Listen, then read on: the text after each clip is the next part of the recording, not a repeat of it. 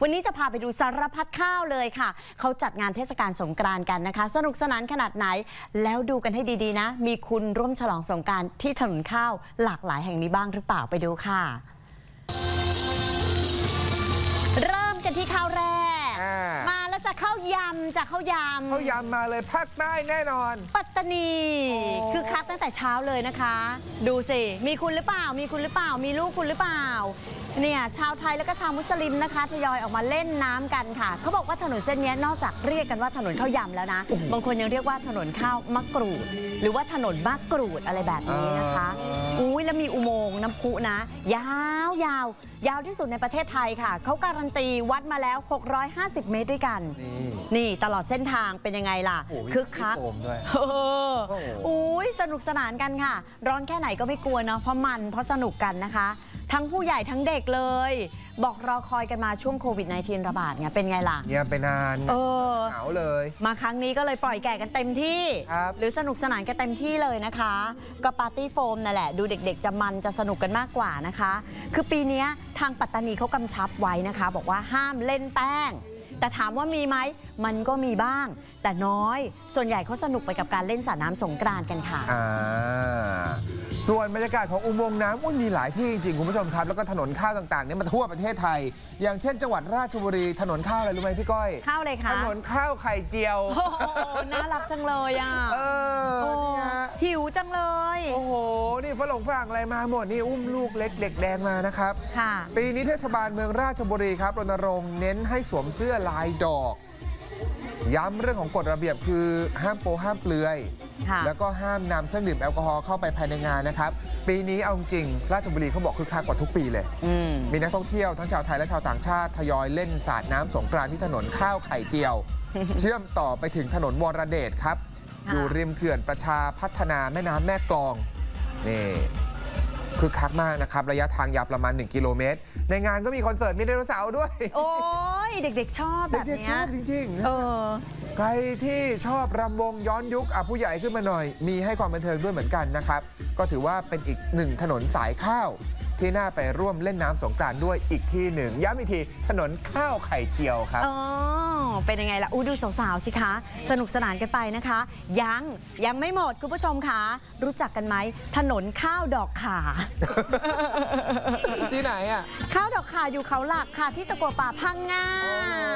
นี่คุณผู้ชมดูบรรยากาศสิ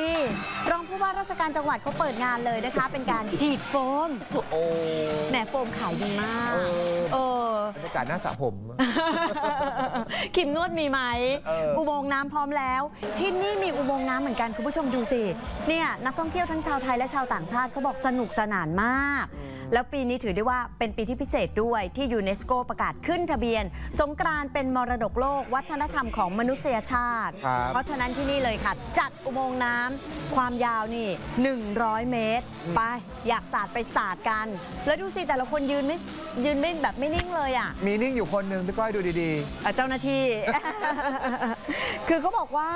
เจ้าหน้าที่ก็คอยอำนวยความสะดวกให้นะ นี่สาวๆเต้นกันใหญ่เลยค่ะเขาเปิดเพลงกันสนุกสนานเลยนะคะ คือตอนนี้เขาตั้งเป้าไว้บอกว่าในอนาคตเนี่ยนะ ที่เส้นนี้ข้าวดอกข่าจะโด่งดังไม่แพ้ข้าวสารคุณเอ้ยๆนี่นี่อย่าให้แผ่วอย่าให้แผ่วนะฮะอะต่อเนื่องกันไปต่อที่จังหวัดอ่างทอง อ่างทองส่งเข้าประกวด ถนนข้าวสุกครับ โอ้โห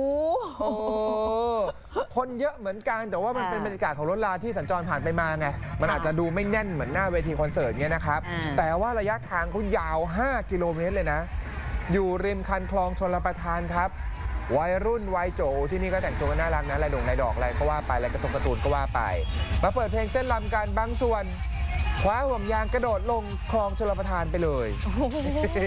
บางคนเออเตรียมตัวมาดีนะพี่ก้อยอะเอาเครื่องสูบน้ำมานะ โอ้โหแล้วตั้งริมคลองนะ ค่ะสูบน้ำจากคลองนี่แหละไม่เสียสตุ้งสตังค์เออ ไม่ต้องซื้อ เออ นี่แหละเพื่อความปลอดภัยเขาโยงเชือกเห็นไหมฮะอืม สองฝั่งคลองก็ให้เด็กๆเกาะเล่นกันไม่อันตราย ก็สู้กับอากาศร้อนอบอ้าวนะครับ บางส่วนก็เดินปะแป้ง คลายร้อนให้กับกันและกันครับ อ๋อมีตำรวจแล้วก็ฝ่ายปกครองมาเฝ้าดูแลเรื่องของความปลอดภัยกับประชาชนตลอดเส้นทางด้วย ค่ะ เล่นกันก็ระวังระวังหน่อยนะคะ สาวๆ เป็นยังไงบ้างเช็คเรตติ้งกันใหญ่เลย หนุ่มๆ บางคนก็บอกโอ้ยได้เช็คเรตติ้งก็งานนี้เอาเอาขันครอบหัวซะอย่างนั้น เออ นั่นไปแล้ว ไปต่อค่ะคุณผู้ชมค่ะที่นครพนมถนนข้าวปุ้น นี่ อยู่เรียบฝั่งแม่น้ำโขงนะคะ นักท่องเที่ยวเอ่ยชาวบ้านเอ่ยค่ะ มา มาเล่นสาดน้ำสงกรานต์กัน คนสปปลาวก็มานะ ครับเนี่ยถามว่าอากาศเป็นยังไง ร้อนสิคะคุณ อุณหภูมินี่ทะลุเกินเลข4ไปแล้วค่ะ ใน 40 องศาเซลเซียสนะคะ แต่เขาก็ยังออกมาแล้วก็มาเล่นกันเนาะโอ้โหสายน้ำดู ที่นี่มีอุโมงค์น้ำด้วยนะคะ ยาว 100 เมตรค่ะ นักท่องเที่ยวก็คลายร้อนกัน แล้วก็งานบุญก็มีนะจ๊ะไปก่อเจดีย์ทรายกัน มีการทำบุญอุทิศส่วนกุศลให้กับบรรพบุรุษ ตามประเพณีที่ริมฝั่งโขงกันด้วยค่ะ เขาบอกตอนดึกๆเนี่ยที่นี่ก็ตึงตึงตึงตึงตึงตึงตึงคอนเสิร์ตจ้าสายตืดก็มา ใช่สงกรารทรงซอก็ต้องมาเอาดิอุ๊ยงานนี้นี่ขึ้นมนุษย์เนี่ยอันนี้ขึ้นมนุษย์ คืออันนี้เป็นความสามัคคีกันเลยนะ เนี่ยคุณผู้ชมค่ะเราก็มีภาพบรรยากาศมาให้ดูกันนะคะเขาบอกดึกๆนี้ยิ่งคึกคักคึกคักมากกว่าตอนกลางวันอีกครับเขาตื่นกันแล้วไงคือตอนนี้เราก็ไม่รู้นะว่าคุณผู้ชมเนี่ยตื่นกันหรือยังนะคะครับเอาล่ะคุณผู้ชมร่วมกันส่งสัญญาณมาบอกว่าข้าวเนี่ยมันมีหลายที่เหมือนกันอย่างถนนข้าวเปียกที่เมื่อกี้พูดถึงอะอุดรธานีมีจริง ๆ นะมีจริง เออแล้วมีอีกหลายข้าวคุณผู้ชมครับข้าวเหนียวที่ขอนแก่นข้าวหลามอ่า ที่ชนบุรีๆเหรอ มีข้าวหมักไหมข้าวหมักมีไหม ไม่รู้สงสัยเก่ง ข้าวพองมีไหม อะลองพิมพ์ก็มา